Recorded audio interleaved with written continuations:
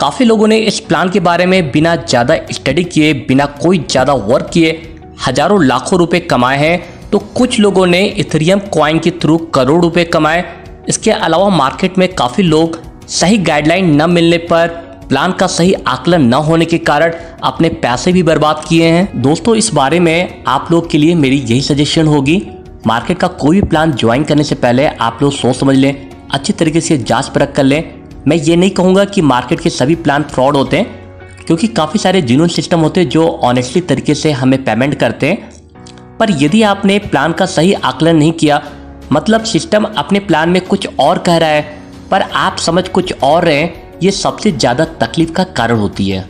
Market के किसी भी बिज़नेस में यदि आप सफल होना चाहते हैं तो हमेशा उस सिस्टम की अधिक से अधिक जानकारी लेने का प्रयास करें।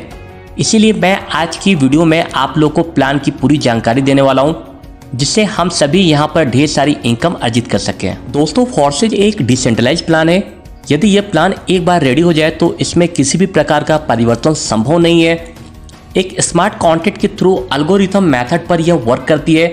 इसे न कोई कंट्रोल कर सकता है और न ये प्लान कभी एक्सपायर होती है और न ही कोई हैकर इस प्लान को, इस सिस्टम को हैक कर सकता है। दोस्तों फॉर्सेज प्लान की शुरुआत रशिया से हुई थी और इसके संस्थापक मिस्टर लाडो हैं। यह प्लान इथेरियम बेस्ड था। गैस चार्ज ज़्यादा होने की वजह से इसका नेक्स्ट जनरेशन आया, जो कि ट्रोन कॉइन के साथ स्टार्ट हुआ। पर इस कॉइन में बग्स ज़्यादा थे, जिससे ट्रांसफ़र में काफ़ी डिफिकल्टी जाती थी। इस कारण दोस्तों, अब ये प्लान बैलेंस एक्सचेंज के डॉलर बी पर स्टार्ट किया गया है। यह blockchain coin B P twenty format में मौजूद है, जिसे ऑलरेडी वर्ल्ड में करोड़ लोग इस्तेमाल करते हैं। दोस्तों, जैसे कि हम इंडिया में आईएनआर का इस्तेमाल करते हैं, जो कि एक बेसिक करेंसी है, उसी प्रकार से वर्ल्ड में हम लोग डॉलर का इस्तेमाल करते हैं, जिस प्रकार यह एक बेसिक करेंसी है। दोस्तों, अब बात करेंगे इस सिस्टम की शुरुआत कैसे करें। आप प्ले स्टोर से बड़ी आसानी के साथ ट्रस्ट वैलेट या टोकन पॉकेट डाउनलोड करके इसकी शुरुआत कर सकते हैं। यदि आप ट्रस्ट वैलेट का इस्तेमाल करते हैं तो आपको 12 फ्रेज मिलते हैं, जो सिंपल वर्ड्स होते हैं, जैसे कीट, जंप इत्यादि। इन्हें किसी भी व्यक्ति के साथ आपको शेयर नहीं करना, चाहे वो आपका अपलाइन क्यों ना हो। जो व्यक्ति आपके सभी फ्रेज जान गया वो आपके आईडी का मालिक हो सकता है, क्योंकि आप इसे कभी भी लाइफ में चेंज भी नहीं कर सकते हैं। आपकी सारी इनकम वो व्यक्ति विड्रा कर सकता है। इसलिए आप इसे किसी सुरक्षित, किसी डायरी में नोट कर लें। अब बात करते हैं, यह प्लान कैसे वर्क करता है। दोस्तों, यहाँ पर हम बात करेंगे आपकी आईडी एक्टिव होती है टेन बी से, यानी कि टेन डॉलर से। इसके बाद दोस्तों, आपकी आईडी एक्स थ्री में भी लगती है, साथ ही साथ एक्स फोर में भी लगती है। मतलब कि पाँच पाँच डॉलर आपने यहाँ पर इन्वेस्ट कर दिया। आप यहाँ देख रहे हैं एक्स थ्री और एक्स फोर का स्ट्रक्चर आप देख रहे हैं। इसे मैं आपको और अच्छे तरीके से समझाता हूँ। दोस्तों, यहाँ पर आप देख सकते हैं एक्स थ्री में टोटल तीन स्लॉट हैं। एंड एक्स फोर की बात करें टोटल छः स्लॉट होते हैं। यदि एक्सपोर का एक स्लॉट एक साइकिल कंप्लीट होती है, उतने टाइम में एक्स थ्री का टू साइकिल कंप्लीट हो जाती है। दोस्तों एक्स थ्री एक वर्किंग प्लान है एंड एक्सपोर की बात करूँ, ये एक नॉन वर्किंग सिस्टम है। अब मैं आपको बताना चाहूँगा दोस्तों एक्स थ्री में जो आपकी ज्वाइनिंग होती है, शुरुआत के दो परसेंट से आपको इनकम मिलती है एंड एक्सपोर में ये आप देख रहे हैं, इन तीन परसेंट से आपको इनकम मिलती है। एंड इसके बाद दोस्तों, मैं आपको बताना चाहूँगा एक्स में यदि आप तीन परसेंट की ज्वाइनिंग करते हैं तो एक, दो और तीन तो ये ज्वाइनिंग दोस्तों, ये शुरुआत के दो होते हैं एंड ये तीन होते हैं। इस तरह से ज्वाइनिंग होती है और इसके बाद जब एस थ्री का एक साइकिल कंप्लीट हो जाता है और आपको पता ही है, ये साइकिल पहले से जो है भर चुके हैं मतलब ये स्लॉट पहले से भर चुके हैं। दोस्तों एस थ्री में जब दोबारा साइकिल में आपने तीन परसेंट की थी ज्वाइनिंग और कर दिया तो एक्स फोर में यह भर जाता है। इस प्रकार से टोटल्स का एक साइकिल कंप्लीट हो जाता है। दोस्तों, यहाँ मैं आपको बताना चाहूँगा एक्सपोर एक ऐसा नॉन वर्किंग प्लान है, जहाँ पर आपके द्वारा या आपके डाउनलाइन के द्वारा या आपके अपलाइन के द्वारा या आपके क्रॉस लाइन के द्वारा कहीं से भी आपको यहाँ पर इनकम मिल जाती है। यह आपका एक नॉन वर्किंग इनकम होता है। इसके बाद दोस्तों, मैं आपको बताना चाहूँगा एक्स थ्री जो कि यहाँ पर आप देख रहे हैं, इसके इतने सारे पैकेज हैं एंड एक्स फोर इसके इतने सारे पैकेज पैकेज की यदि मैं बात करूँ, दोनों बिल्कुल बराबर हैं, और सारे लोग के क्वेश्चन होते हैं। सर मैं किस किस स्लॉट सबसे ज़्यादा बाइक करूँ? एक्स थ्री का बाइक करूँ? या एक्स फोर का सबसे ज़्यादा बाइक करूँ? दोस्तों, यहाँ पर मैं आपको बताना चाहूँगा एस थ्री एक वर्किंग प्लान है। यहाँ पर आपको बेनिफिट तब मिलता है जब आप अपनी खुद की आईडी एक्टिव करते हैं और साथ ही साथ आपकी टीम भी अपनी आईडी एक्टिव करती है।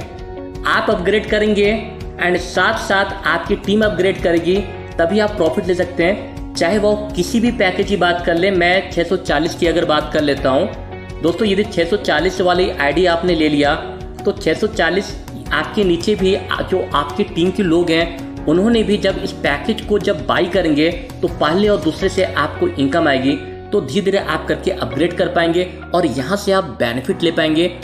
एंड इसके बाद दोस्तों, यदि मैं एक्सपोर की बात करूँ तो दोस्तों एक्सपोर जैसे मैं थोड़ा सा हल्का सा जूम कर लेता हूँ। दोस्तों, यहाँ पर अगर एक्सपोर के बारे में बात करता हूँ तो मैं आपको बता दूँ, ये फुल्ली एक नॉन वर्किंग प्लान है, जिसमें इसके कारण काफ़ी सारे लोग इस प्लान को लेकर के काफ़ी ज़्यादा इंटरेस्टेड होते हैं। लोगों का यहाँ पर थॉट होता है कि मैं इस सिस्टम से काफ़ी अच्छा कमा लूँगा, और वाकई एक तरह से सही भी है। दोस्तों, यहाँ पर यदि आपके पास पैसे हैं तो आप वाकई यहाँ से काफ़ी अच्छी खासी इनकम ले सकते हैं। यहाँ पर दोस्तों, यदि आपने टेन डॉलर इन्वेस्ट किया तो ऑटोमेटिक फाइव डॉलर तो ये ऑटोमेटिक यहाँ पर आपकी इन्वेस्टमेंट हो जाती है। तो मैं इसकी बात नहीं करूँगा। यदि आप यहाँ पर इनकम लेना चाहते हैं तो आपको कुछ स्लॉट और बाई करने होंगे। जैसे टेन डॉलर कर लीजिए ट्वेंटी डॉलर कर लीजिए फोर्टी डॉलर कर लीजिए एट्टी डॉलर कर लीजिए वन सिक्सटी डॉलर कर लीजिए। दोस्तों, यहाँ मैक्सिमम लोग एट्टी डॉलर मतलब पांचवा जो स्लॉट होता है, बस इतना ही बाई कर पाते हैं, क्योंकि इसके बाद लोगों के पैसे कम पड़ जाते हैं। लोगों को ये पैसा काफ़ी ज़्यादा लगने लगता है। क्योंकि दोस्तों, यदि बात कर लें, आप जैसे कि दे सकते हैं ten dollar twenty dollar total इसकी वैल्यू होती है thirty dollar and forty dollar यदि आप प्लस कर दें तो seventy dollar and eighty dollar plus कर दें तो दोस्तों टोटल हो जाती है इसकी वैल्यू 150 डॉलर 150 डॉलर मतलब आपने इन्वेस्ट कर दिया। अब दोस्तों 150 डॉलर के बाद जब आपको 160 और इन्वेस्ट करना होता है तो आप समझ सकते हैं आपको पैसे की कमी पड़ेगी। तो मैक्सिमम लोग यहाँ पर नहीं कर पाते हैं। पर दोस्तों, यदि आपके पास पैसे हैं तो आप इसे भी कर सकते हैं, इसे भी कर सकते हैं। इसके लिए आप बिल्कुल फ्री हैं। दोस्तों, यहाँ पर मैं आपको बताना चाहता हूँ, यदि आप यहाँ से इनकम लेना चाहते हैं वर्क तो आपको करना पड़ेगा। अब वर्क कहाँ से हो? अगर आप एक अच्छी वर्क कर सकते हैं तो दोस्तों, यहाँ पर आप S3 से भी इनकम ले सकते हैं। एंड इसके साथ आप एक्सपोर्ट से भी इनकम ले सकते हैं। सीधी बात मैं आपको बता दूँ दोस्तों, यहाँ पर यदि आपने सोच लिया, सारे आईडी को मैं एक्टिव कर लूँ तो मुझे इनकम तुरंत हो जाएगी। यहाँ पर आपको वेट करना पड़ेगा।